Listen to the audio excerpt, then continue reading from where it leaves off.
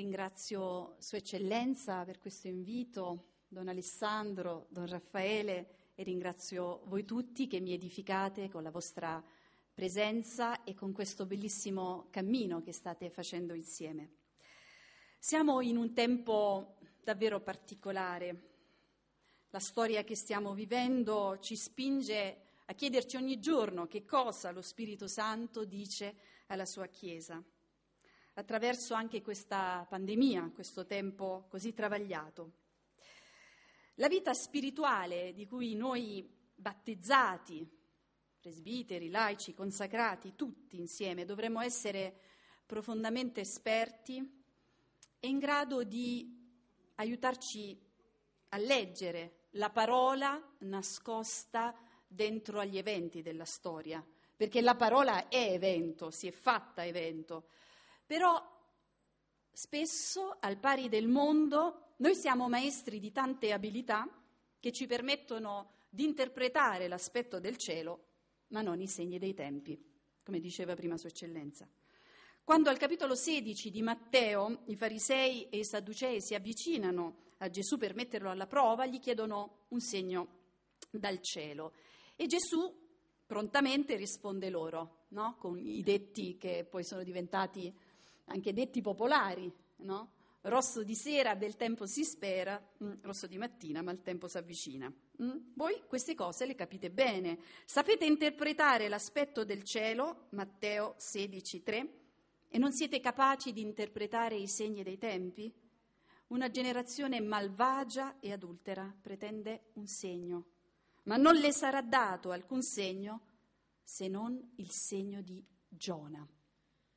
E fa capolino questo profeta reticente, ribelle, non certo il profeta più riuscito delle scritture. Mm?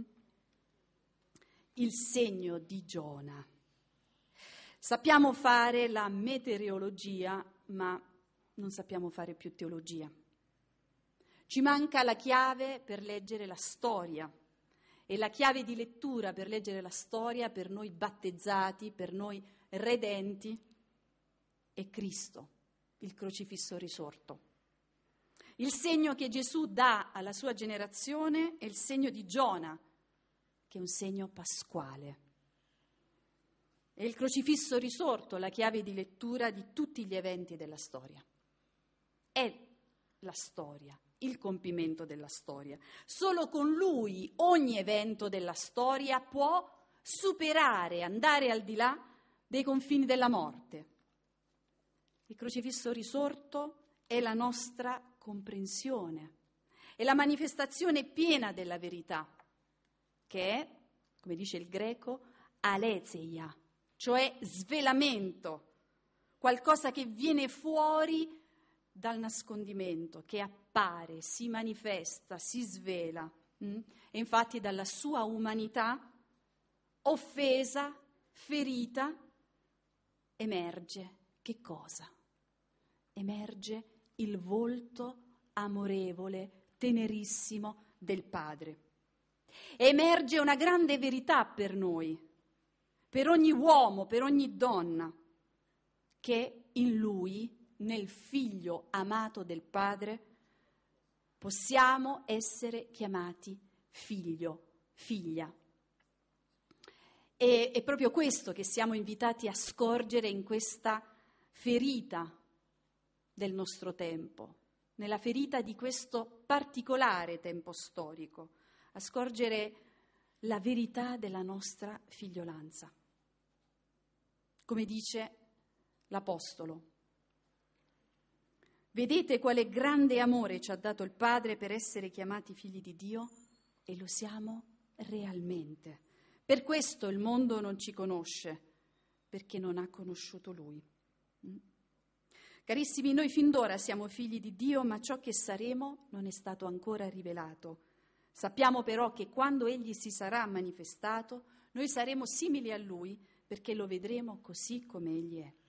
Siamo figli destinati ad essere, a vedere Dio, a essere simili a Lui.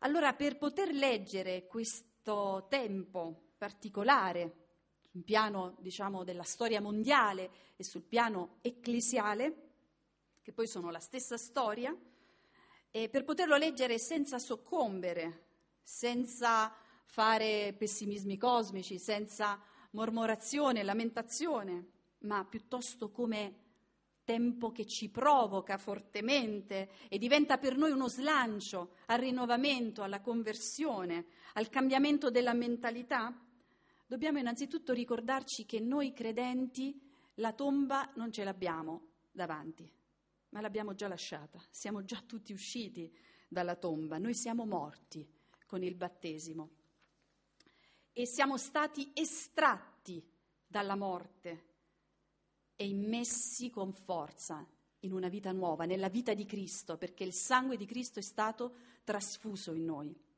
Ma è davvero nuova la nostra vita. È davvero una vita in cui appunto accogliamo l'amore del Padre che si è manifestato in Cristo e lasciamo circolare questo amore in mezzo a noi? Nessuno si perda d'animo diceva il piccolo Davide al re Saul, quando questo re cominciava a tremare davanti ai filistei che facevano sul serio e avevano un eroe, Golia, che terrorizzava tutti. Aveva sfidato le schiere del Dio vivente. Golia, il filisteo, il potente, hm? l'uomo che faceva paura.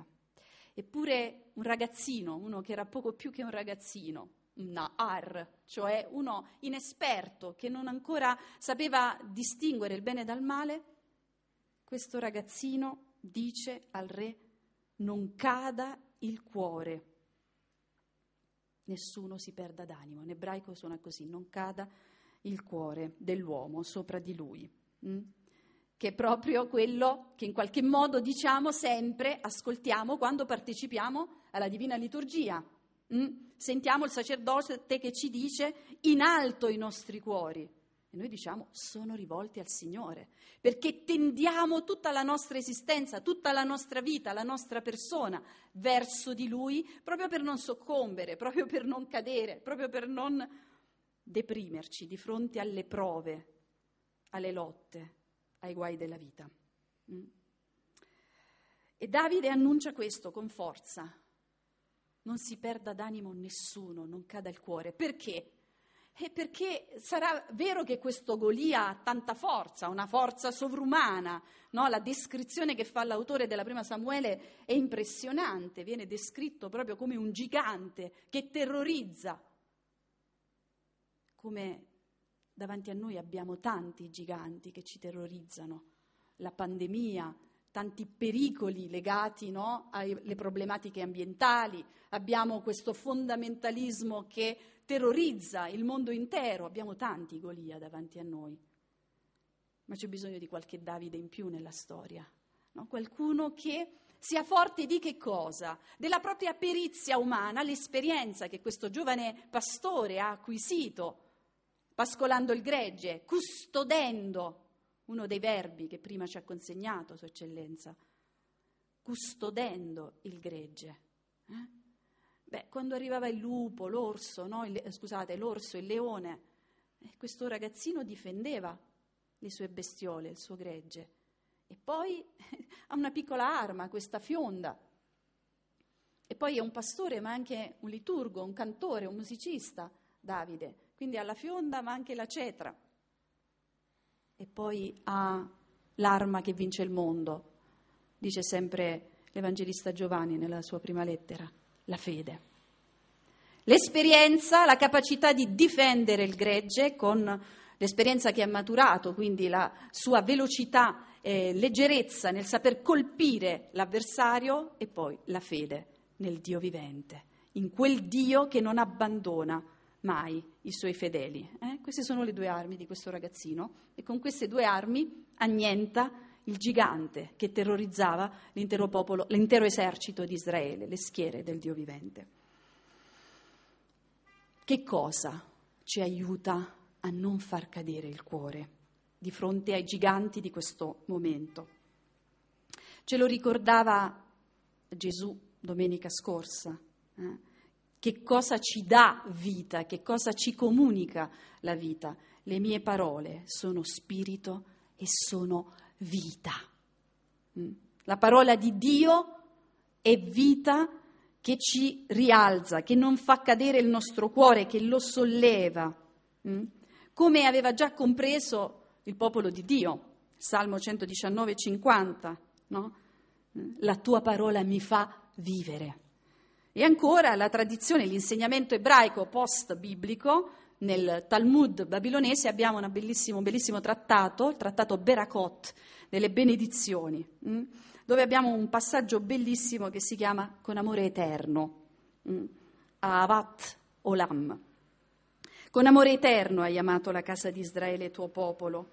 Ci hai insegnato la Torah, i precetti, gli statuti e le costituzioni Perciò, Signore Dio nostro, concedi che quando ci corichiamo e quando ci alziamo, eco dello Shema Israel, meditiamo sui precetti della tua volontà e fa che ci rallegriamo e gioiamo in eterno nelle parole dell'insegnamento della tua Torah, perché essi sono la nostra vita e longevità. Vita e longevità. Vita lunga, vita piena, eh? perché nella Bibbia la vecchiaia non è mai vecchiaia, è essere sazio di giorni. Quindi questa seconda benedizione del Talmud babilonese, che recita il ringraziamento per il dono della parola di Dio, ci mh, rimanda a questa esperienza, potremmo dire, di legame stretto tra la parola e la relazione di alleanza con Dio. Questa espressione con amore eterno che apre la benedizione estrapolata da una delle pagine più belle di Geremia, Geremia 31.3, che rivela proprio la qualità della relazione di Dio all'uomo. Dio si lega a noi con un amore che è per sempre, eterno, inossidabile. E questa Torah che Dio trasmette al suo popolo, che consegna e che nella rilettura post-esilica viene considerata proprio il dono di nozze dello sposo alla sua sposa Israele, la Torah è il dono del, dello sposo alla sua sposa, non è solo, non è una realtà che ha un contenuto intellettuale e basta, ma è appunto una realtà dinamica che comunica gioia, vita, longevità. Questa parola è una parola che ha, potere, ha il potere di eh, far vivere l'uomo, ma di custodirlo in vita, di restituire la vita e di custodire la vita, per spingere eh, la creatura umana a crescere eh, verso la sua piena fioritura, il suo pieno compimento. E come abbiamo già ascoltato dalle, dall'intervento, dalla relazione di Don Alessandro, ecco che questa parola che è stata così centrale nell'esperienza di, Isra- di Israele, dopo l'esilio, quando non c'era più il Tempio, non si poteva, non c'era il culto, non c'erano i sacrifici, eh? in terra straniera, in terra d'esilio, che cosa? A cosa Israele si è aggrappato, questo popolo si è aggrappato? Alla parola alla parola del Signore, che è stata la sorgente, la fonte, a cui attingere per non far cadere il cuore. Perché, il, come dice il Salmo, no? arrivati in, in questa terra d'esilio, qual è stato l'effetto? Appendere la cetra ai salici di quella terra. Il salice è proprio questa pianta depressa, che più depressa non si può. E la cetra invece è lo strumento che dice la gioia del celebrare, del cantare le lodi del Signore. Quindi dalla gioia alla tristezza. Perché? Perché siamo fuori dalla terra, la terra che il Signore ci ha promesso. E perdere la terra è un dramma, perché significa che non abbiamo ascoltato, non abbiamo custodito, non abbiamo vissuto, non abbiamo trasmesso i quattro verbi che prima ci consegnava Sua Eccellenza. C'è stato un blackout, una disconnessione mh, mm, dalla relazione con Dio. E quindi dove sono finite le promesse di Dio? Dove è finita tutta quella tenerezza, no? Che emerge un grido del popolo, mm, vedi, vedi Isaia 63, quando il popolo grida a Dio, tu sei nostro Padre, Eh, Abramo e Israele non ci conoscono più, hanno l'amnesia, hanno l'Alzheimer, non ci riconoscono più. E tu non forzarti all'insensibilità, perché tu sei nostro Padre. Padre, dirà il Nuovo Testamento, che sei nei cieli, non per fare riferimento al luogo fisico dove abita Dio, per dire che Dio abita in un superattico nei cieli, no? Ma per dire che Dio è Padre in modo eminente, superlativo, diversamente da come si è padri terreni. Per quanto qualcuno di noi possa avere un'esperienza positiva del suo papà, e ci auguriamo che siano in molti in mezzo a noi, c'è sempre una sbavatura, un limite, un'imperfezione, una ferita, mentre questa espressione con cui la scrittura ci consegna la verità di Dio vuol dire che Dio è padre in modo squisito, mm, straordinario e in lui non c'è difetto. E questa esperienza di Israele mm, che perde il Tempio, che perde la possibilità di offrire i sacrifici, di celebrare il culto, appunto permette a Israele di vivere un'esperienza davvero spirituale, a spiritualizzare il culto, cioè a fare della propria vita un culto, a fare della propria persona, come poi dirà Paolo in Romani 12, 1, 2. Offrite i vostri corpi come sacrificio, come logichella treian, cioè come culto secondo il logos, per vivere in modo filiale, alla maniera di Cristo. Eh? Un corpo mi hai offerto, dice il Verbo entrando nel mondo, dirà l'autore della lettera agli ebrei.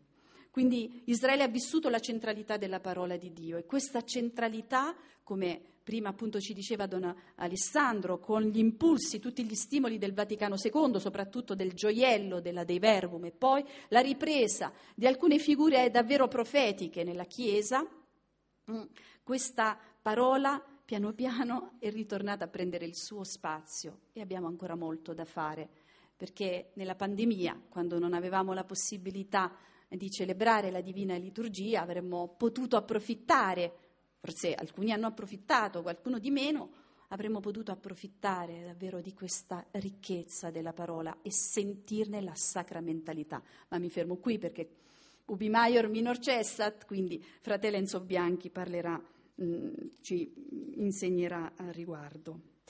E arriviamo a questa splendida pagina che abbiamo letto tante volte, quindi quando siamo davanti a una pagina biblica che conosciamo a memoria, dobbiamo sempre ehm, lanciare un po' una sfida alla parola, no? provare a scardinare tutte le stratificazioni del lo so già che si sono formate dentro di noi, quindi detergere un po' i vari strati e arrivare no, alla freschezza di una parola che è fresca di giornata, che vuole essere sempre nuova. E quindi, come tanti maestri prima di noi, provare sempre a rileggere il testo biblico, in questo caso l'incontro del risorto con i due di Emmaus, in modo da farlo nostro, creando un set cinematografico nella nostra mente, mettendo in scena no, questo brano, mh, dando corpo alle figure, ai personaggi, al dinamismo che c'è nel testo, perché appunto possiamo leggerlo con concretezza, ma soprattutto perché ci lasciamo leggere dalla scrittura, perché questo accade quando noi apriamo la Bibbia. Non siamo noi a leggere la parola, ma è la parola a leggere la nostra vita. E questo dovrebbe essere sempre la nostra esperienza sentirci letti da una parola che accende luci di senso e che rinfocola la nostra fede e che ci attira ancora di più al Signore e ci attira di più verso gli altri. Questo brano ci consegna tante perle. Innanzitutto ci consegna la verità della vita come un viaggio, come un camminare. Mm? Se prendete il testo, in italiano e chi conosce qualche altra lingua, mm, possibilmente il greco, potete vedere la ricchezza che c'è nel testo di eh, Luca 24, 13, 35. Innanzitutto tantissimi eh, verbi e sostantivi che dicono il camminare, il cammino, la strada, il, l'andare, l'entrare lungo la via, eh, dall'inizio alla fine abbiamo tutto il testo è attraversato da questo dinamismo. Hm? Eh, il verbo poreuomai, sum poreuo, peripateo, abbiamo ehm, esercomai, hm? eh, anistemi, che nella scrittura ha questo duplice senso dell'alzarsi come movimento ma anche del risorgere. Eh? Anastasis, la risurrezione di Cristo. Mm, epistrefo, che è un verbo di movimento, eh, ma anche ricorda un dinamismo interiore, di un movimento interiore, quello della, di una conversione. E poi questa espressione che ritorna, enteodò, per strada, lungo la strada. Quindi la vita viene presentata da questo brano come un viaggio, come un andare, siamo dei pellegrini. La nostra vita è una vita itinerante. E mh, mm, questa mh, immagine della vita umana come pellegrinaggio eh, diventa eh, corposa attraverso l'immagine di questi due discepoli che, mh, come tutti i personaggi che la Bibbia ci consegna, più che essere dei modelli, potremmo dire sono vite in evoluzione, in fire, in, di- in dinamismo, investite in un pellegrinaggio che può essere percorso in modo spento oppure dinamico, a seconda della compagnia e della meta. Mm? Nella scrittura la meta è essenziale, per esempio pensiamo alla storia di due giovani, abbiamo eh, Tobia e abbiamo il figlio il prodigo, tutti e due fanno un esodo dalla loro casa, ma Tobia ha un fiorfiore d'accompagnatore e una meta ben precisa, mentre il figlio il prodigo ha soltanto dei mezzi, mm, l'usia che il papà gli ha dato e non ha una meta, non ha una missione. E quindi tutto ciò che ha, disper- che ha raccolto lo disperde, mentre chi ha la meta e ha una missione chiara non disperde, ma cresce, fiorisce, avanza e fa avanzare con lui la storia, la storia della propria famiglia, la storia del proprio popolo, perché nella scrittura non abbiamo mai individui, abbiamo persone che fanno parte di una comunità, di un popolo, sono tessute in una trama fitta di relazioni. Mm? La storia del, della persona è una storia di chi appartiene a un popolo e la missione personale è legata sempre alla vicenda di un popolo. E se Dio interviene nella vita di qualcuno e sceglie qualcuno è perché sia un canale, un tramite, un mediatore di beni, di salvezza, di vita per tutto il popolo. Mm? Quindi eh, questi due pellegrini mm, che incontriamo ehm, sono mh, in viaggio verso una meta, o meglio prendono le distanze da quella che nel Vangelo di Luca è la meta, Gerusalemme. Tutto il percorso di Gesù è un salire verso Gerusalemme a partire dal capitolo 9, quando Gesù appunto fa dura la sua faccia e va verso il suo destino che si compirà a Gerusalemme. Però il viaggio di questi due personaggi è un viaggio drammatico perché vanno dire- nella direzione opposta, partono da Gerusalemme, città che è presente nel brano per ben tre volte. Nella mentalità semita, per dire il superlativo, si ripete qualcosa tre volte. Eh? Santo, santo, santo, per dire più santo che più santo non si può. Quindi Gerusalemme per tre volte. La centralità di questa che sarà il luogo di quello che sarà il centro di radiazione della parola, della corsa del Vangelo nel secondo volume di Luca, negli Atti degli Apostoli. Dopo aver smarrito l'entusiasmo che aveva caratterizzato il loro cammino di discepoli, che erano stati alla scuola di Gesù, avevano accolto la parola di Gesù, avevano seguito Gesù, dopo aver smarrito quell'entusiasmo a causa degli eventi tristi che si erano compiuti a Gerusalemme, ecco che questi due decidono di lasciarsi alle spalle la città santa, di dimenticare il cammino fatto fino a quel momento, di tornare indietro, mm, di fare una sorta di regresso, riabbracciare la vita di un tempo, questo è un po' caratteristico nel Vangelo, anche nel Vangelo di Giovanni lo troviamo, nel capitolo 21 Pietro e altri stanno a pescare, quando Gesù li aveva estratti dalle reti, eh? un regresso alla vita di un tempo, alla vita delle proprie sicurezze, a quello che so fare bene, che mi riesce bene, ma con il cuore gonfio di tristezza e il passo si fa lento, pesante. Ce lo dice bene eh, l'Evangelista perché dice al versetto 17 che questi due si fermarono col volto triste. Quindi si intraprende un viaggio e poi ci si ferma. È quasi un viaggio che cade nel vuoto, no? che si interrompe troppo in fretta, un aborto del proprio pellegrinaggio. E mm, in, questa, in questo viaggio, appunto, la battuta d'arresto però è accompagnata ad un, ad un incontro. I due, che dice Luca, erano due di quelli, due di loro. Quindi si apre subito il tema della, di un'appartenenza. Erano due che erano stati a stretto contatto con Gesù, erano due, potremmo dire, privilegiati o come diceva il cardinale Martini, due super coltivati da Gesù, no? Come accade tante volte, abbiamo delle persone a cui cerchiamo di dare nella nostra vita il meglio, condividiamo il tempo, insegniamo hm? e poi può accadere che quelle persone più coltivate vadano via, mentre le persone proprio aride, selvatiche, prendano invece una goccia e fioriscano di colpo. Hm? Mistero. Questi erano appunto due della squadra, del team, due coltivati da Gesù, non dei discepoli occasionali. E questi due appunto intraprendono questo viaggio di ritorno a casa, si separano dal luogo dove si è compiuta la vicenda di Gesù e conversano tra di loro.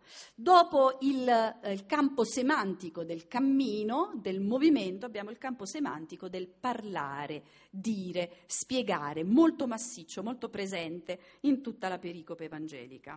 Mm? Conversavano tra di loro, discutevano insieme quando Gesù in persona si avvicinò e camminava con loro.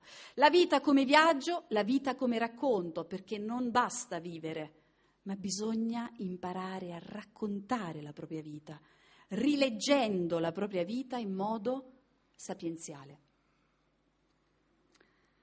E Luca, lo dice sin dall'inizio del suo Vangelo, vuole fare un, una diegesis, cioè un resoconto ordinato di tutti gli eventi relativi alla vicenda di Cristo. E appunto questo incontro con un pellegrino, un forestiero che va al loro incontro, dà loro l'occasione di rileggere gli eventi, riflettere su quello che hanno vissuto. Mm? Tante volte noi viviamo degli eventi ma non ci fermiamo mai a rileggerli.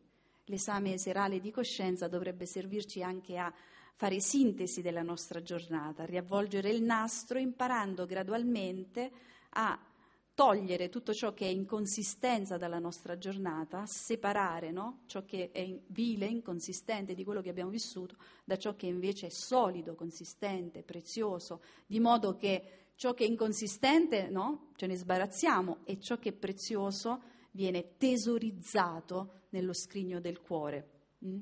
Che permette appunto al nostro cuore di impregnarsi di ciò che vale, di ciò che ha valore e che può mantenerci in vita.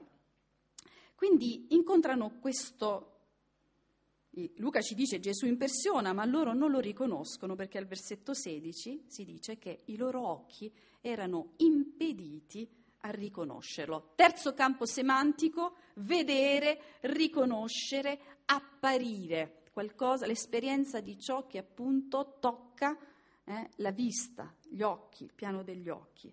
Eh non, i loro occhi erano impediti, non potevano riconoscerlo, ci dice Luca. Quindi noi lettori siamo onniscienti come il narratore, sappiamo tutta la vicenda, mentre i protagonisti della storia eh, non lo sanno, vedono qualcuno riescono, a cui non riescono a, a dare un'identità. Mm.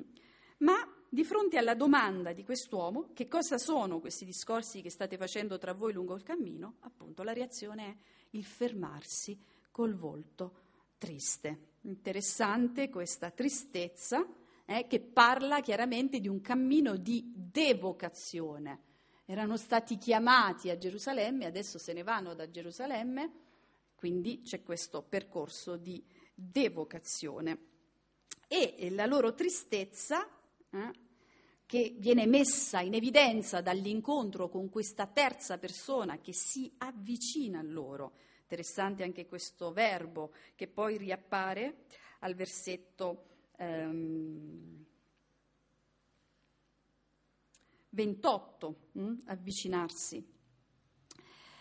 questa complicazione dell'apparizione del terzo personaggio spinge i due appunto a rivelare cosa c'è nel loro cuore perché la bocca parla per l'abbondanza del cuore, loro stanno conversando, ma le nostre parole sono epifania dei nostri sentimenti, come gli occhi sono lo specchio di, nostra, di quella che è la nostra interiorità. In ebraico occhio è ein, fonte, sorgente. Eh? È Gesù stesso che dice lampada del corpo è l'occhio, se il tuo occhio è nella luce, tutto il corpo è nella luce.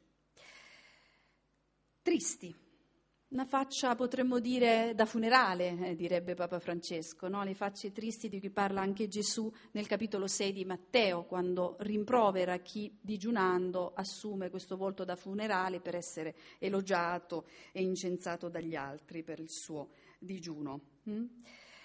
E mm, la domanda quindi innesca una reazione. Si fermarono col volto triste, uno di loro, di nome Cleopa, gli rispose: Solo tu sei forestiero paroiches, parola che ha attinenza con una parola a noi molto cara, parroco. Solo tu sei così forestiero, quindi parroco vuol dire forestiero, un pellegrino, un itinerante, uno che non, è, non ha fissa dimora, uno dinamico, in movimento. Non sai ciò che vi è accaduto in questi giorni? E Gesù, come dire, dispiega una splendida pedagogia, la sua tattica Gesù, eh? fa appunto, dispiega questa tattica che consiste appunto nel fare un po' l'ignorante, nel non stare al gioco, eh, interpretare questa fiction di colui che non sa. Parliamo di Gesù che si avvicina ai suoi discepoli, è il Maestro, è il crocifisso risorto, è il Vangelo ed è anche l'evangelizzatore, hm? ma è soprattutto, come si vede bene nel Vangelo di Matteo, l'Emmanuele, il Dio con loro, il Dio che cammina con, come si vede in tutta la scrittura.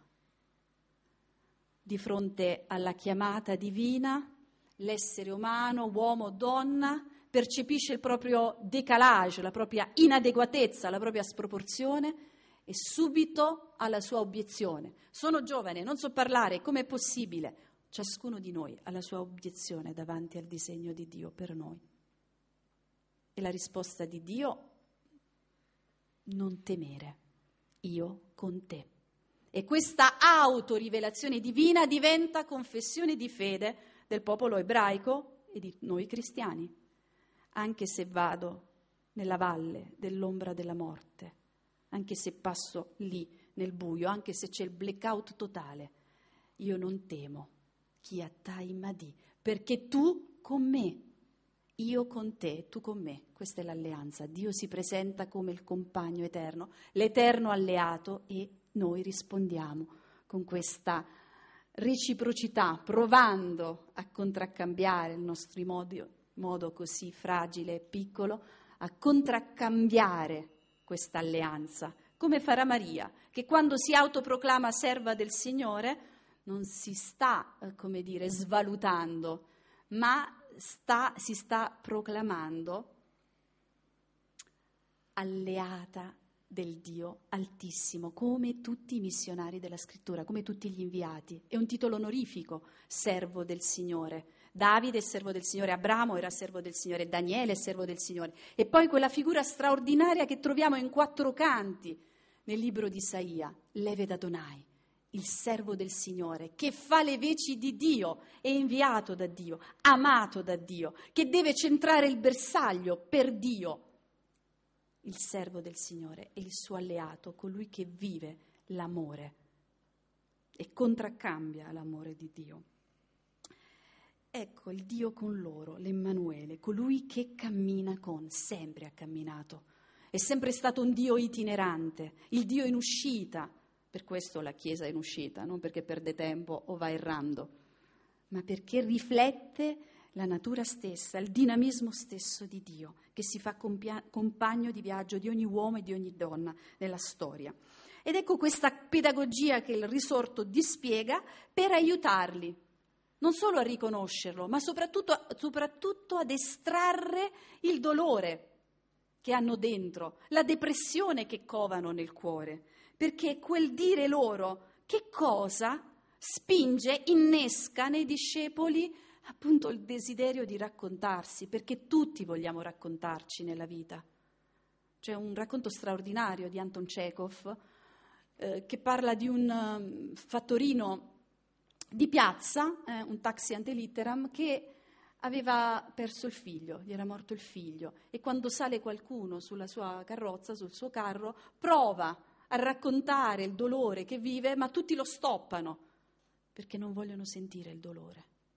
E lui alla fine disperato parlerà col suo asino mentre gli dà la paglia e dice ah se, se ci fosse mio figlio lui ti avrebbe dato cose buone, sai perché non c'è più e gli racconta mentre l'asino si lascia accarezzare da lui, no? Gli animali a volte più umani, eh? come nelle, nelle favole, il dinamismo dell'umanizzazione. Raccontare il dolore per prendere in qualche modo requie dal dolore, quiete dal dolore, perché il dolore trattenuto dentro fa male, ammala la persona. E quindi noi siamo chiamati a raccontarci, abbiamo bisogno di raccontarci, abbiamo bisogno di qualcuno che ci ascolti e Gesù si presenta così, come qualcuno che ascolta. Ed è interessante il racconto, la narrazione che fanno i due, Cleopa che fa anche a nome dell'altro, no? C'è una storia che lui racconta, una storia che in qualche modo è una storia, eh, come dire, corretta nella sua articolazione. Che cosa? Ciò che riguarda Gesù, il Nazareno, che fu profeta potente in opere e in parole davanti a Dio e a tutto il popolo, come i capi dei sacerdoti, le nostre autorità lo hanno consegnato, fatto condonare a morte e crocifisso. Noi speravamo. Speravamo, quindi non speriamo più. Delusione. È subentrata la delusione. C'era un'attesa, quindi c'è tutto questo climax e poi, boom, si cade. Delusione. Che egli fosse colui che avrebbe riscattato, termine potente, Israele. Con tutto ciò sono passati tre giorni da quando queste cose sono accadute. Alcune del, donne, delle nostre, interessante, siamo, è Luca che scrive, Luca che nel capitolo ottavo, ai primi tre versetti, parla della novità del discepolato femminile al seguito di Gesù, ripreso nel capitolo de, decimo con l'incontro con Marta e Maria, questa Maria che sta ai piedi di Gesù trasgressione da parte della donna nella società ebraica, no? tanto che anche Marta è scandalizzata dall'atteggiamento della sorella, ma Gesù ha chiamato al suo seguito le donne anche. Alcune donne delle nostre ci hanno sconvolti, si sono recate al mattino alla tomba e non avendo trovato il suo corpo sono venute a dirci di aver avuto una visione di angeli, vedete? Andare, dire, vedere, tornano questi verbi, i quali affermano che egli è vivo Alcuni dei nostri sono andati alla tomba. Le nostre, i nostri. E la comunità, c'è un senso di appartenenza. Loro si sentono parte di un corpo, però vedete, per, quasi per paradosso, si stanno separando da quel corpo. Alcuni dei nostri sono andati alla tomba, hanno trovato come avevano detto le donne, ma lui non l'hanno visto. Stanno recitando il cherigma il credo. Tante espressioni simili si troveranno nel capitolo 2, 3, 10 degli Atti sulle labbra di San Pietro, al capitolo 13 degli Atti sulle labbra di Paolo. Ma è un cherigma senza gioia, senza anima, depressivo, fatto con la faccia triste, la faccia del funerale. C'è un cherigma sulle labbra che però non è accordato al proprio cuore, cosa che accade anche a noi. Questi due siamo noi ogni qualvolta ci troviamo davanti a una prova, ogni qualvolta contempliamo delle ferite. Un cherigma a metà. Mm? Perché? Perché manca l'amen, l'amen, l'assenso, il dire è vero, non il dubbio, il sospetto. Dicono forse che è vivo, sarà forse vivo? No, è vivo, cherigma senza anima, che ha un senso dubitativo quando manca di amen. Dubitativo. E con il dubbio non si evangelizza nessuno. Non si insegna a nessuno col dubbio. Forse nella grammatica italiana si dice così. Quale insegnante può dire forse nella grammatica italiana si dice così? Gli studenti diranno non sei credibile, ciao, ti ascolteremo un'altra volta. La Pasqua di Cristo è ingombrante e la croce è uno scandalo come dice Paolo. Mentre i giudei chiedono segni e i greci cercano sapienza, noi annunciamo Cristo crocifisso, scandalo, lo scandalo nel pezzo di legno che serviva a interrompere la corsa degli animali per poterli braccare. Scandalo per i giudei e stoltezza per i pagani. Ma per coloro che sono chiamati, sia giudei che greci, Cristo è dunamis, dinamite. Come dirà nella lettera ai Romani 1,16, il Vangelo è dunamis, dinamite. Ma noi abbiamo paura del tritolo dell'ISIS, ma non ci fa ancora battere il cuore il tritolo del Vangelo, la dinamite che c'è nella parola di Cristo, nella parola che è Cristo. La vita come incontro, presenza, riconoscimento. Ecco che a questo cherigma senza anima risponde lo straniero.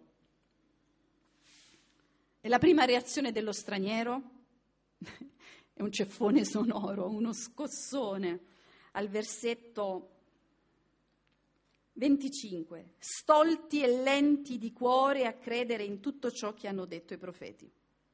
Stolti, senza nus, senza intelletto, privi di intelligenza spirituale, di occhio contemplativo e lenti di cuore. Interessante, bradius, che ci fa venire in mente l'era glaciale, il bradipo, no? Lento, perché deve passare inosservato, lento, perché si nutre di foglie questa creatura e poiché le foglie no, se mantengono loro non mantengono nemmeno lui, quelle poche calorie che prende dalle foglie se le deve tenere strette strette, quindi va lento, lento, lento, lenti a credere in tutto ciò che hanno detto i profeti. Credere, la fede, è diversa dal sistema religioso, dalla cristallizzazione della religione tu nella quale tu devi fabbricare culti, sacrifici, offerte, autocastigazioni, flagellazioni. Credere è accogliere, lasciarsi fare, lasciarsi dinamizzare e cogliere l'unità della storia, della storia dell'alleanza che è un filo rosso. Chi le olam hasdo, perché il tuo amore è eterno, l'abbiamo detto, l'inossidabilità dell'amore fedele e tenero di Dio che attraversa tutta la scrittura, che attraversa tutta la storia dell'alleanza, che attraversa tutta la nostra esistenza, dal primo all'ultimo nostro respiro. Credere è proprio tenere acceso il cuore, sintonizzandolo sulle promesse di vita che Dio ha pronunciato su di noi. A partire dai profeti fino al figlio suo, e allora ecco l'altra reazione di Gesù, l'annuncio, versetto 26, non bisognava che il Cristo patisse queste sofferenze per entrare nella sua gloria. Entrare nella sua gloria non è più un luogo fisico, questo movimento, no? Ma entrare in una condizione. Noi abbiamo visto la sua gloria. E la Chiesa vive, come dice la lettera a Tito, tra la grazia della prima venuta e la gloria della seconda tra la grazia e la gloria, deve entrare nella gloria. Gli eventi che racconta Gesù sono gli stessi che hanno raccontato loro. Cosa cambia? La chiave ermeneutica. La vita è piena di imprevisti e appare a ogni angolo la prova. La coppa della vita contiene sempre gioia e dolore. Non siamo mai così nella gioia da non avere un dolore e così nel dolore da non contemplare una gioia. Insieme in questo calice che è la nostra vita, vanno insieme. Ma di fronte alla prova sempre appunto lo stesso grido. Dov'è Dio? Perché ti nascondi, Signore? Fino a quando? Dov'è la tua onnipotenza? Ma Dio non si è rivelato innanzitutto onnipotente, l'abbiamo detto prima. Non ha detto io sono l'onnipotente. Io con te, l'onnipresente, l'eterno compagno di viaggio, che è diverso.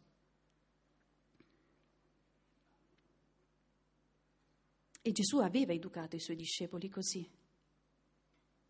Se uno vuol venire dietro a me, rinneghi se stesso, prenda la sua croce e mi segua. E poi aveva dato gli annunci della passione, tanto che il povero Simon Pietro, che aveva tirato fuori la risposta da primo della classe, era stato subito annichilito dietro, Satan, tu che non pensi secondo il disegno di Dio, ma secondo la mentalità del mondo, secondo la carne, che deve difendere. Tu vuoi difendere la vita, ma la devi perdere. La terza reazione di Gesù è l'ermeneutica, appunto l'interpretazione. Mm? Quindi lo scossone, l'annuncio, l'evangelizzazione e l'interpretazione. Mm? E cominciando da Mosè e da tutti i profeti, versetto 27, spiegò loro in tutte le scritture ciò che si riferiva a lui. Interessante il verbo di ermeneusen, cioè fece l'ermeneuta delle scritture, eh, tutte relative a lui. Lui sta, le scritture sono impregnate di lui. Sotto le scritture è appunto, si trova Cristo. E riporta così Gesù tutto al disegno originario del Padre. Tutto è nelle mani del Padre, la vita e la morte, la vita e la morte del Figlio per la nostra salvezza. La storia della salvezza è costellata di prove. Abramo, la storia di Abramo è segnata dalla prova. E non è il sacrificio di Isacco, parliamo della, della che dà la legatura di Isacco, la prova è di Abramo che deve imparare ad essere padre. Non perché ha puntato i piedi e ha detto Signore voglio essere padre, come la donna e Eva dal verbo ayah, essere, la madre di tutti i viventi, ma non è la fonte della vita. Infatti tutte le matriarche sono sterili. La vita si ottiene da Dio e noi diventiamo mediatori di vita. Non siamo i detentori della vita, non ci diamo la vita da noi stessi come non ci diamo la fede da noi stessi. Per questo la Bibbia è attraversata da le genealogie che ci fanno un po' sonnecchiare, ma sono importanti. Tizio generò Caio, Caio generò Sempronio. Dio fa scorrere la vita nella storia e facendo passare la vita fa passare la fede di padre in figlio, di generazione in generazione, scorre attraverso la vita, la trasmissione della fede, scorre la sua misericordia, canterà Maria, che non canta partiture inedite, no? Ma tesse eh, da poetessa a profetessa qual è? Mm? Le perle della storia biblica, dei cantici biblici, eh, per rileggere la storia di Dio nell'unità. Lei che tesse la, la carne del figlio di Dio, tesse la storia che il peccato umano disperde, manda in frantumi e lei la ritesse, la ricuce, con questa abilità di chi appunto vede l'invisibile, contempla la visione all'occhio penetrante, contemplativo di Dio, degli uomini, della storia. La storia della salvezza è piena di prove, è tutta segnata dalla Pasqua. Abramo, Mosè, i profeti, tutti uomini provati, saggiati, il Cristo che appunto si trasfigura in mezzo a chi sta?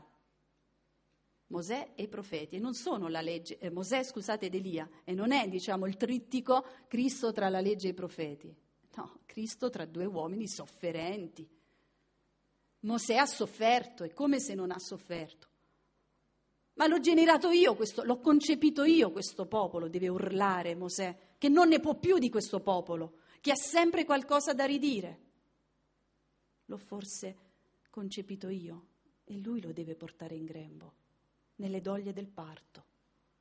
E deve portarlo alle soglie della terra, lui non entrerà, uomo sofferente. Ed Elia, uomo sofferente soffre perché vede un popolo che sta un po' di qui e un po' di lì. Ma, dovete, ma fino a quando saltellerete di qui e di lì?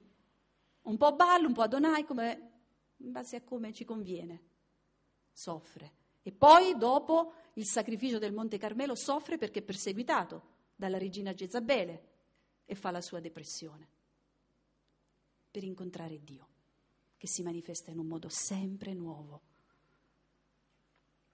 la storia è piena di sofferenze, è piena di persone che però hanno sentito che Dio non salva dalla prova, ma nella prova, nella prova ci viene a salvare. E si sono fidati di Dio. Pensiamo al capitolo 11, un gioiello della, della lettera agli ebrei. Eh? La fede, che è, dice l'autore agli ebrei, elenkos, prova di ciò che non si vede, è fondamento, iupostasis, di ciò che speriamo. Speravamo e non sperano più perché non hanno fede, non credono alle parole dei profeti, alla scrittura. Per fede quegli uomini e quelle donne hanno camminato e sono andate oltre la prova, oltre il dolore. Nella fede, Ebrei 11, 13 a 16, nella fede morirono tutti costoro senza aver ottenuto le promesse, ma li videro, li salutarono da lontano, dichiarando di essere stranieri e pellegrini sulla terra. Chi parla così mostra di essere alla ricerca di una patria. Se avessero pensato a quella da cui erano usciti, avrebbero avuto la possibilità di ritornarvi. Ora invece essi aspirano a una patria migliore, cioè a quella celeste. La prova ti spinge a tornare indietro. Invece questi uomini e queste donne hanno aspirato ad un'altra patria, migliore, quella celeste. Per questo Dio non si vergogna di essere chiamato loro Dio. Eh, pensiamo alla visione dell'Apocalisse. Eh? Sarà il loro Dio e essi saranno il loro popolo. Ha preparato infatti per loro una città? La Gerusalemme celeste, che scende, adorna come una sposa per il suo sposo. Manca a questi due discepoli l'intelligenza spirituale, quell'intelligenza teologica che allarga lo sguardo e fa cogliere l'unità della storia. E allora per questo Gesù si fa evangelizzatore, didascalos, ermeneuta, lui che è il padre, del padre ci ha fatto l'esegesi, exegesato, Giovanni 1,18. Cominciando da Mosè e da tutti i profeti, spiegò loro in tutte le scritture ciò che si riferiva a lui. Mm? Fa che mostra l'unità della storia della salvezza. La Pasqua attraversa tutta la storia dell'alleanza, da Abramo a Cristo. Quindi non basta leggere, non basta vivere, non basta vedere, bisogna comprendere. C'è bisogno di un'ermeneutica della parola, un'ermeneutica dell'esistenza, l'ermeneutica dell'immagine. Neemia al capitolo 8, vediamo questo, quando Esdra apre il libro, sono rientrati nella terra ma non hanno il tempio. E allora che cosa hanno? Hanno il libro, mm? la parola del Signore. Eh, lui apre questo libro, sta più in alto di tutti, Mm? il punto più in alto, ebbe, come ebbe aperto il libro, tutto il popolo si alzò in piedi. Vedete, il movimento della parola innesca il movimento del popolo, dell'assemblea. Esdra benedisse il Signore Dio grande e tutto il popolo rispose Amen, Amen. Credo. E il proprio assenso a quella parola. Alzando le mani si inginocchiarono, si prostrarono con la faccia a terra. Giosuè e tutta la sfilza di persone che sta con lui, i leviti spiegavano la legge al popolo, il popolo stava in piedi, leggevano il libro della legge di Dio a brani distinti, spiegavano il senso e facevano comprendere la lettura, l'omelia come ermeneutica della parola. Neemia, che era il governatore, Esdra, sacerdote e scriba, e i leviti che ammaestravano il popolo dissero a tutto il popolo, questo giorno è consacrato al Signore vostro Dio, non fate lutto e non piangete. Ecco cosa innesca la parola, la gioia. Tutto il popolo piangeva, i guai erano stati tanti, mentre ascoltava le parole della legge. Neemia disse loro, andate, mangiate carni grasse, bevete vini dolci, mandate porzioni a chi non ha nulla preparato, di preparato, perché questo giorno è consacrato al Signore. Non vi rattristate perché la gioia del Signore è la vostra forza. Ed è rimasta questa nel saluto. No? I leviti calmavano tutto il popolo dicendo tacete perché questo giorno è santo, non vi rattristate. Tutto il popolo andò a mangiare bere, eccetera, a esultare con grande gioia perché avevano compreso le parole che erano state loro proclamate. Far comprendere le parole proclamate, questo è il compito della Chiesa, questo è il compito dei battezzati, spiegare la scrittura, fare l'ermeneutica della scrittura, imparare l'ermeneutica delle immagini, imparare di ciò che si vede, di ciò che si vive, di ciò che si legge. Mm? Non basta conoscere un evento, bisogna interpretarlo. Come si vede in Atti 8, no? nel ministero di Filippo, questo uomo docile allo Spirito Santo che incontra uno straniero, uno che non appartiene al popolo dell'alleanza, un etiope, eh?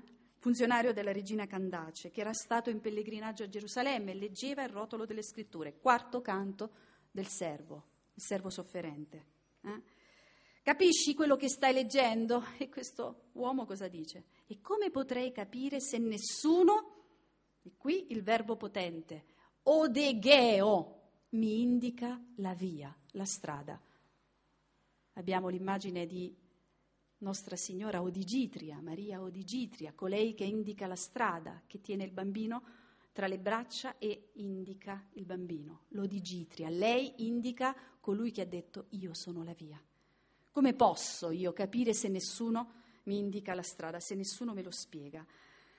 Filippo, prendendo la parola, Atti 8:35, partendo da quel passo della scrittura, annunciò a lui Gesù. Annunciò a lui Gesù. Il greco è più è più forte, eh? aprendo la bocca. Devi aprire la bocca per spiegare. Eh? C'è anche un movimento fisico da fare, una postura, un tono della voce, una mimica per trasmettere ciò che è vita, che non è una parola come le altre, che non è una parola informativa ma performativa, che compie quello che dice nel cuore, che crede, che dà il suo amen a quella parola. Noi deridiamo a volte i protestanti che nelle loro assemblee di preghiera dicono Amen, ma abbiamo perso, una, ma perdiamo sempre un'opportunità, perché la nostra vita dovrebbe essere questo canto permanente aprendo la bocca, cominciando da quella scrittura, dal canto del servo sofferente che mentre viene straziato intercede per i colpevoli, per le cui piaghe siamo stati guariti, che è stato reciso dalla, dalla, dalla terra, ma vedrà un'ampia posterità, eh? lo evangelizzò, gli annunciò il lieto annuncio, il Vangelo, che è Cristo dice Luca. Quindi c'è stata l'estasi, cioè la fascinazione di bellezza, perché nessuno di noi si muove se non è rapito dalla bellezza, nessuno di noi si muove per imposizione di un obbligo, di un comando. Ciò che muove il nostro cuore, che lo fa vibrare, è la bellezza. E quindi c'è un'estasi per accostarci veramente ad un cammino di vita nuova, è necessario prima lasciarsi sedurre dalla bellezza. Per poter essere familiari della parola di Dio dobbiamo sentirne il fascino seduttivo di questa parola, l'estasi, attiva l'esodo, il movimento. Sono parole che hanno la preposizione ex, ecstasis, non la droga, ma appunto quel movimento che dice che io non basto a me stessa, che basta la stasi del, dell'autoripiegamento su di sé, dell'autocontemplazione del mio, della mia presunta perfezione. No c'è qualcosa che mi fa trasalire, mi fa uscire dalla stasi e mi mette in cammino, exodos, mi fa intraprendere un viaggio, un santo viaggio. Ma queste due tappe se ne deve aggiungere una terza, exegesis, comprensione, rileggere la propria esistenza alla luce di quella fascinazione di bellezza, per poter andare verso una meta e non deragliare nel proprio camminare. E quindi la comprensione accade non da soli, come abbiamo ascoltato bene prima da Gregorio Magno, accade nella comunione, nella condivisione, nello stare insieme con la comunità o con un maestro, o meglio ancora un padre, una madre nello spirito, che sia una persona conoscitrice della via della vita, afferrata dallo spirito di Dio. Un'ermeneuta che offra la chiave di lettura per comprendere, illuminare la propria esistenza. Filippo si offre come padre e svela a quell'etiope il senso della scrittura. Parte da quel canto del servo sofferente e permette all'etiope di essere letto dalla scrittura. Mm? E la notte di quell'etiope diventa piena di luce e viene rigenerato poi nell'acqua. Questo percorso che mh, mm, Luca fa fare attraverso la parola di Gesù è un percorso che non termina con la parola. Dalla prima mensa si passa alla seconda. Gesù continua un po' nella sua fiction, eh, continua a essere tattico. Quando furono vicini al villaggio dove erano diretti, quindi siamo quasi arrivati a Emmaus, Egli fece come se dovesse andare più lontano, fa finta di doversene andare, ma essi insistettero. resta con noi perché si fa sera e il giorno ormai è al tramonto. Che sia una pratica di ospitalità, cioè Gesù accende in loro non solo il desiderio di conoscere, di capire, ma accende in loro che cosa? Il senso dell'ospitalità, dell'accoglienza. Ma possiamo leggere questa espressione ancora con una coloritura ancora più struggente. Resta con noi, perché il buio della sera ci fa paura, perché il buio della prova ci fa paura, ci ha fatto paura, siamo terrorizzati dal buio, dalla notte, da Salmavet, la valle dell'ombra della morte. Egli entrò per rimanere con loro. Resta con noi, rimani con noi. Entrò per rimanere con noi. L'umiltà del nostro Dio che accoglie il nostro grido, lo assume, lo prende su di sé. Quando fu a tavola con loro, prese il pane, recitò la benedizione, lo spezzò e lo diede loro, allora si aprirono loro gli occhi e lo riconobbero, ma egli sparì dalla loro vista. Ecco, quegli occhi impediti adesso si aprono. La comprensione della parola Mm? il gesto dello spezzare il pane, l'Eucaristia, parola Eucaristia. E il Cristo è presente e non se ne andrà mai più dalla storia. Non lo vedono, ma c'è e sanno che c'è. Ed essi dissero l'un l'altro, non ardeva forse in noi il nostro cuore mentre egli conversava con noi lungo la via, quando ci spiegava le scritture. Si fermarono tristi depressi sul depressivo andante e adesso il cuore arde. Eh? Ce l'aveva detto Geremia quando aveva pensato di fare il prepensionamento, un pensionamento anticipato, no? Non parlerò più in suo nome, lasciamo perdere. Ma dentro di me c'era un fuoco ardente, mi sforzavo di contenerlo ma non potevo, no? Nel brano, nel capitolo 20 delle confessioni cosiddette di Geremia. Partirono senza indugio, si fermarono, partirono senza indugio. È un capovolgimento che abbiamo qui. Mm? Questo racconto eh, di riconoscimento ha presentato all'inizio il dramma, poi la complicazione, il terzo personaggio, poi la risoluzione, perché adesso l'hanno riconosciuto e adesso il capovolgimento, dalla lentezza alla velocità. Senza indugio fecero ritorno a Gerusalemme, il luogo dal quale erano partiti, dove trovarono riuniti gli undici e gli altri che erano con loro. Tornano a riconnettersi al corpo comunitario perché il corpo di Cristo è la parola, il corpo di Cristo è l'Eucarestia, il corpo di Cristo è la comunità. E anche qui abbiamo tanti peccati, abbiamo ridotto il corpo di Cristo all'Eucarestia e basta. E il caro eh, Girolamo che dice quando cade un pezzettino di Eucaristia, tutti siamo scandalizzati per quel pezzettino di Eucaristia che è andata, di ostia consacrata che è andato perduto. E quando cade in vano la parola di Dio? E quando cade un fratello o una sorella? Il Signore ci salvi da questa ipocrisia. Dal fermarsi tristi al partire senza indugio, dal dubbio e vivo forse alla confessione del credo. Eh? agli undici e agli altri che erano riuniti, versetto 34, dicevano davvero il Signore è risorto. Ecco qua, qua c'è l'amen al credo. Il cherigma ha preso anima, il cherigma è dinamico. Mm? Quindi dal dubbio alla confessione del credo, dal cuore lento al cuore che brucia, che è dinamico, appunto, che torna alla comunità, torna alla comunione. Ed ecco cosa il risorto ha consegnato a questi due. Li ha riportati nella loro terra, li ha riportati appunto nel corpo comunitario, li ha riconsegnato, ha riconsegnato loro la vocazione, la loro vocazione di discepoli missionari. Perché il missionario non può esserlo senza essere, rimanere discepolo, come ci ha insegnato Papa Francesco nell'Evangeli Gaudium. Mm? E allora cosa possiamo tirare fuori da questa parola per noi? Una verità, un invito, una promessa, una verità. Il Signore è vivo e ogni volta che noi proclamiamo il cherigma, comunichiamo la vita, se a questo cherigma diamo il nostro assenso, diamo il nostro amen. Dio è vivo, è l'annuncio della vita che Lui possiede in abbondanza e ci dona in abbondanza, è un annuncio che vivifica gli altri. L'invito. credere alla parola profetica, immergerci nella parola profetica, dinamizzare la nostra comprensione della parola, cioè credere che la parola di Dio non è come una parola qualunque, informativa, dicevamo prima, ma davvero che compie quello che dice e lo compie davvero nella nostra vita se noi ci crediamo.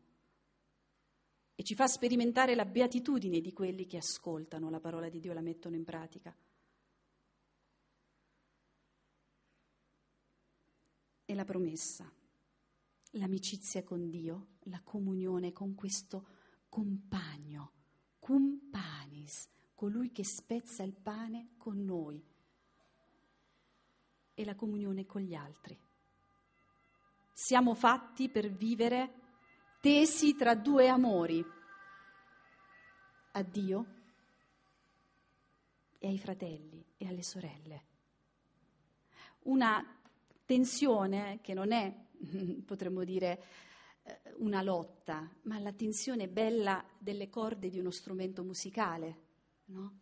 Quando suoniamo una chitarra, una cetra, no? le corde devono essere tese, quella giusta tensione che permette alla musica di librarsi nell'aria, eh? questa tensione che è armonia, hm? è un'armonia che ci permette di sentire che veramente la nostra vita è fatta per l'alleanza, l'alleanza col Signore della storia che è vivo e ci vuole vivi e con i nostri fratelli e le nostre sorelle che insieme a noi costituiscono, formano il corpo di Cristo e formano quella Chiesa che non è fatta di pietre senza anima, ma di pietre vive, costituite sulla pietra angolare che è Cristo.